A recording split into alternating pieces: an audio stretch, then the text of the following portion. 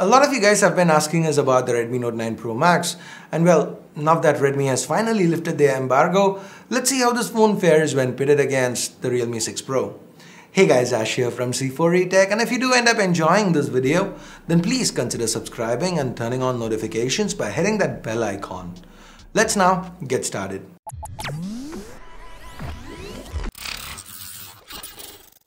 So we have two very different looking phones here. The Realme 6 Pro comes with quad rear cameras to the left, Realme branding to the bottom and a gradient glass back, very similar to the Realme design language that we are all familiar with. On the other hand, the Redmi Note 9 Pro Max with its Aura Balance design, this one is all about symmetry.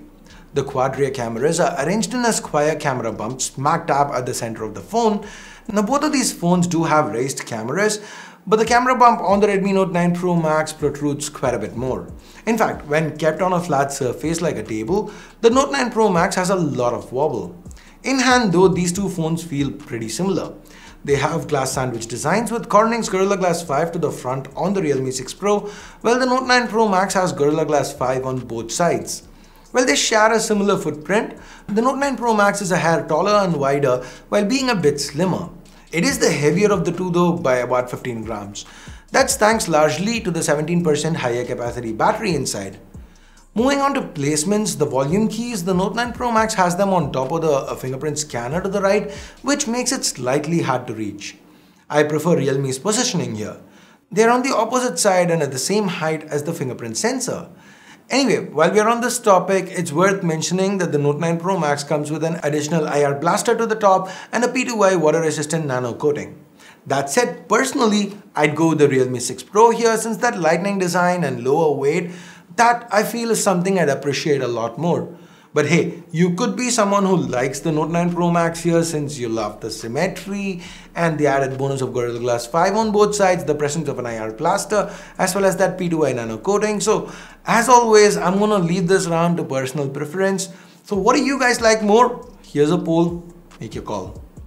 Moving on, the differences continue to the front as well. The Note 9 Pro Max, it has a 6.67 inch Full HD Plus IPS LCD panel with a punch hole bang on the center.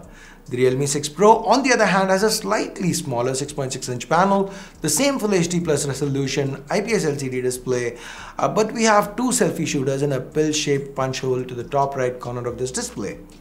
That's not all, the Realme 6 Plus display also has a high refresh rate, 90Hz, so everything just feels a little more smoother.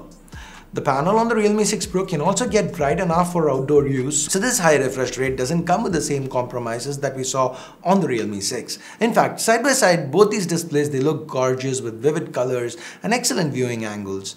But the 90Hz battery smoothness means this round goes to the Realme 6 Pro. Moving on from the external design choices to the internal ones, well, both brands have decided to opt for the new 8nm Snapdragon 720G chipset and going by the numbers we should have probably had comparable performance across the board, yet in practice the Realme 6 Pro feels a lot faster. Once again, that can be attributed to the 90Hz refresh rate of the display, which makes everything from day-to-day -day tasks like opening up apps to scrolling through websites on Chrome feel much better on the Realme 6 Pro.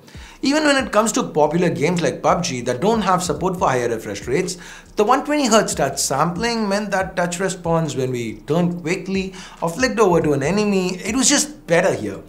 Overall, despite packing the same CPU plus GPU, the 6 Pro, it just feels snappier. On the memory side of things, both phones have 6 or 8 gigs of RAM LPDDR4X combined with 64 or 128 gigs of storage UFS 2.1. Both phones also sport dedicated microSD card slots for storage expansion. So wrapping up this performance segment, we have the Realme 6 Pro taking the victory here once again because of that higher refresh rate display. Moving on to battery life next, we have a 4300 mAh battery on the Realme 6 Pro that did last us through most of our regular days, but the 5020 mAh unit on the Redmi Note 9 Pro Max gives around 20% better battery life.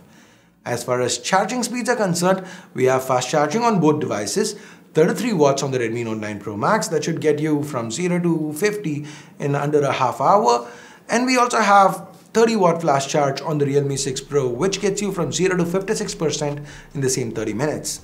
Thanks to the larger battery and the higher watt charger, the Note 9 Pro Max sweeps this round with an easy victory.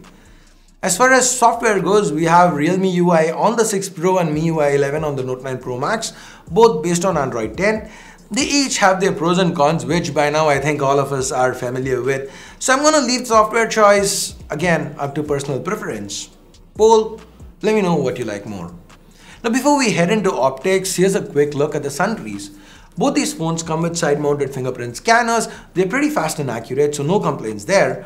We also have face unlock and it worked great. Moving on to the speakers, both phones can get equally loud, but I prefer the cleaner output of the Note 9 Pro Max. The audio output through the 3.5mm jack, it is pretty similar across both. The Note 9 Pro Max though, it does bring some extras to the table. We have better haptic feedback thanks to a linear vibration motor and then there are those that we've seen already, the IR Blaster and a P2i Nano coating. So this Sunrise, I think it's Advantage Note 9 Pro Max. Okay, time to take a quick look at those quad camera setups.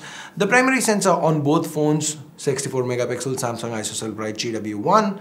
The Realme 6 Pro pairs it with a f1.8 lens. Redmi, they've gone with the f1.89 lens for the Note 9 Pro, so slightly narrower aperture. Side by side, both phones take equally sharp pictures, but the dynamic range seems to be a tad better with the Realme 6 Pro. We get bluer skies and lusher greens on the Realme. We also have Pro Color on the Redmi that helps pump up the saturation. Similarly, we've got Chroma Boost on the 6 Pro. Under low light though, we see quite a stark difference between these two. The pictures shot by the Realme 6 Pro, they came out brighter with more detail compared to those from the Note 9 Pro Max. We can see in this shot, the writing on the post, it's barely visible on the picture shot by the Redmi. Same goes for these leaves in this next picture. The difference between these two is the exposure timings. That's the reason why we see this change. While Realme exposes images to 1 6th or sometimes even 1 4th of a second, the Note 9 Pro never goes slower than 1 15th of a second. And it's not just the detail, even the colors on the Note 9 Pro Max, they look a bit washed out in comparison. Both phones come equipped with 8 megapixel ultra wides and we noticed a pretty significant shift in color temperature between the two. The Redmi Note 9 Pro Max takes warmer looking shots while the 6 Pro, the images shot by it ended up on the cooler side of the spectrum. The Realme 6 Pro also comes with a 12 megapixel camera coupled with a telephoto lens so there's support for 2x optical zoom. This isn't something the Note 9 Pro Max can match. When it comes to macro photography though, there's a dedicated 5 megapixel sensor uh, on the Redmi Note 9 Pro Max and it outperforms the meager 2 megapixel snapper on the Realme 6 Pro by quite a fair margin. The fourth sensor on the Note 9 Pro Max is a dedicated 2 megapixel sensor for depth detection that helps with the edge detection for rear portraits. As we can see, the Realme 6 Pro does fine without one. As far as the pictures go, the one shot with the Note 9 Pro Max seem to have a tad bit of over-sharpening to them. That said, I do prefer the skin tones on this Redmi. By the way, we have uh, manual mode support on both phones and Realme even lets us shoot RAW. On the other hand, Redmi does have a Pro mode for video and also allows for 8-bit log capture. Now, talking about video, both these phones can shoot 4K 30 side by side. They look extremely similar. The footage does need stabilization and that's something we get at 1080p. We have Ultra Steady and Max Ultra Steady on the Realme 6 Pro along with portrait video as well. So those are a few nice to haves. When it comes to selfies, there's a 16 megapixel snapper on the 6 Pro going up against a 32 megapixel snapper on the Note 9 Pro Max. And the Redmi shines here with detailed pictures, great skin tones. As far as selfie portraits are concerned, it's more of the same. The edge reduction is a bit better on the Realme 6 Pro though. The Realme 6 Pro also comes with an 8 megapixel ultra wide selfie shooter that can get us shots like these where we fit in more into the frame.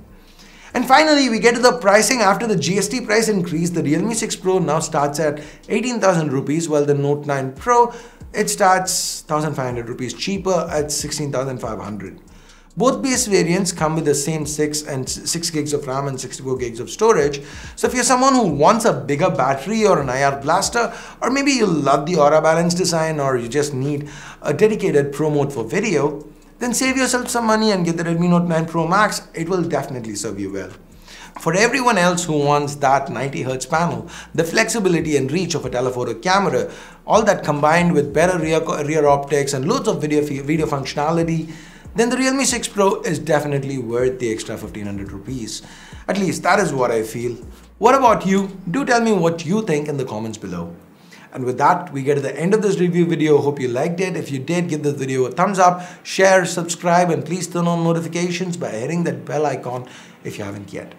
Thanks a lot for watching. Till next time, my name's Ash. You've been watching C4E Tech, and I'm signing off for now. You guys have a great day. Bye bye.